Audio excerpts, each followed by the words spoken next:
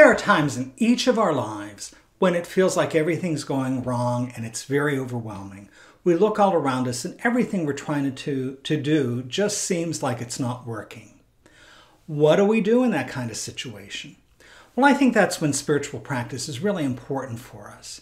And if we've had an ongoing spiritual practice, it can really be a great tool to help us sort those times out. So that's what I want to talk about today. And as I do, I want to invite you to subscribe to this channel as well as to click that bell so that you're notified of future videos.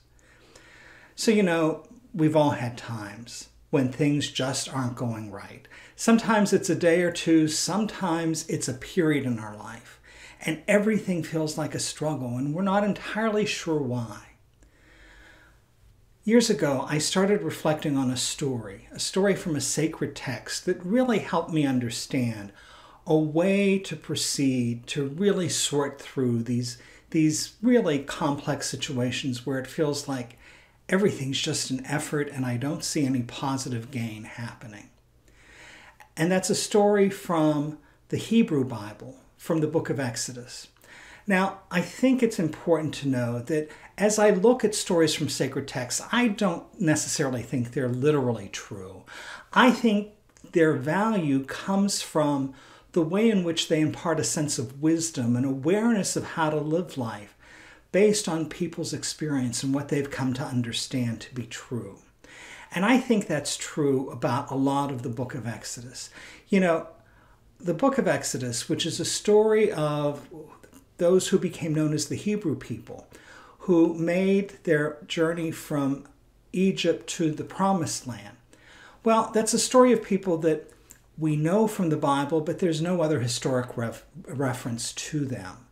So we're not sure whether the, any of these things actually happened or not. But there are stories that have been handed down that I think have depth to them. And it's from that perspective that I want to approach the story that's found in the 33rd chapter of the book of Exodus. And in that chapter, what's happening is that, you know, Moses has brought these people out of Egypt and they're a mishmash of people trying to come and form their identity as this new people moving into a promised land.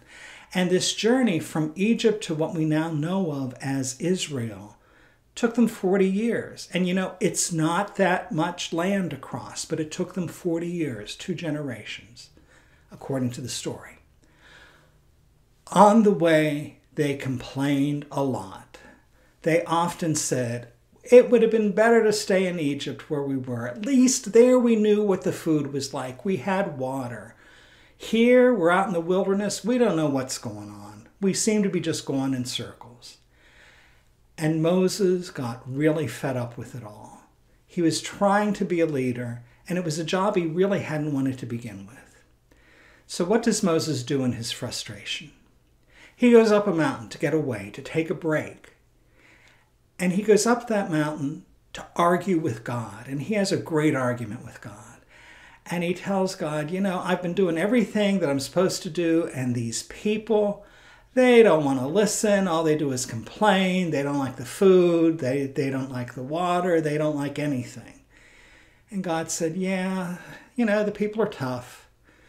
And Moses said, I'm doing what you asked me to do. I didn't want this job. I asked you to get somebody else, but you said no, me.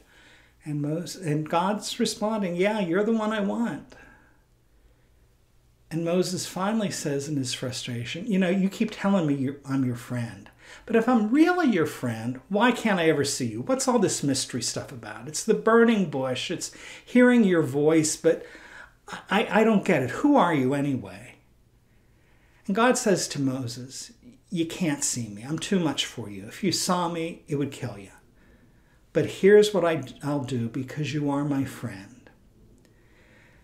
And God takes Moses and hides him in a cleft of a rock and puts his hand over him to shield him. And then the story goes that God's presence comes from behind Moses and as God is coming, Moses hears all these wonderful things that God has done. Think of that, of all the grace that Moses has experienced. And in time, the divine hand is lifted, and Moses looks out and he sees the back of God, leading him forward. I think that's a critically important image for us. When we are overwhelmed by how things are going wrong and how difficult things are, that's exactly the time that we need to step back. And we need to learn this pattern from Moses, or at least from the story of Moses. That what Moses did first was he got in that space alone with God. He went up the mountain and he got all that negativity out. He yelled at God. He complained to God. He, he put all that stuff out that was cluttering his life. And then he got quiet into a safe, secure space. And it was in that inner quiet that he recalled all the things that had been beautiful in his life, all the graces, all the things that had happened well for him.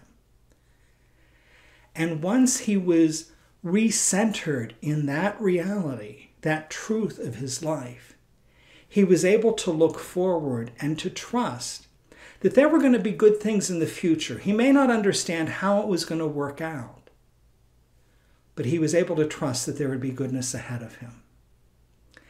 And it was from there that Moses goes back down the mountain and gets back to work with those same people who kept complaining.